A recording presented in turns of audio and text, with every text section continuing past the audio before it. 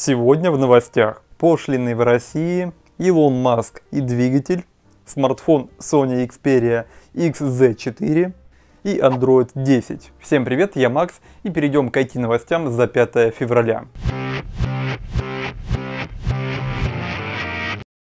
Беспошлиный порог в 500 евро уже в действии в России. Думаю, не все еще в курсе, что у нас в России с начала этого 2019 года беспошлинный лимит на покупки за рубежом сегодня составляет 500 евро.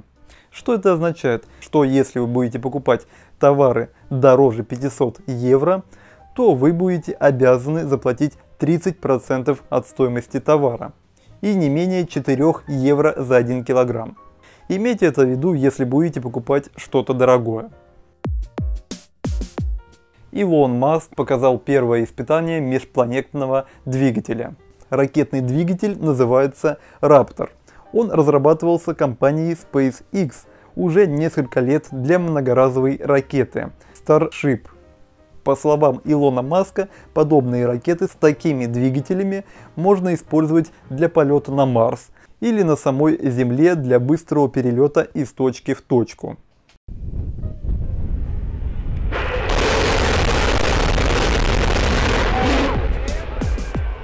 Появилось еще немного подробностей о флагманском смартфоне Sony Xperia XZ4. Сегодня предполагается, что смартфон должны показать на выставке MVC 2019, то есть уже в конце этого февраля. Смартфон должен получить главную фишку.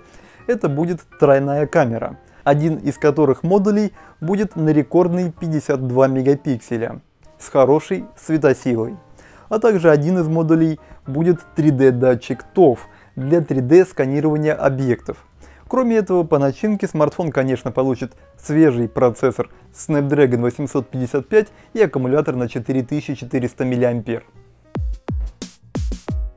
Новая версия Android 10Q добавит новую долгожданную функцию. Как известно, сегодня идет полным ходом разработка свежей системы Android 10, которая по традиции появится на смартфонах в конце этого года.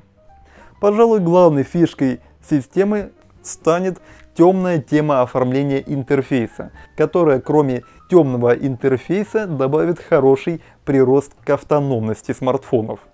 Предполагается, что подобный режим добавит до 50% экономии заряда при включенном дисплее.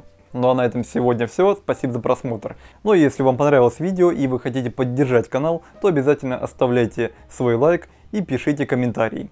Ну а также можете задавать свои вопросы, я на них отвечу в следующих новостях. Удачи всем и пока!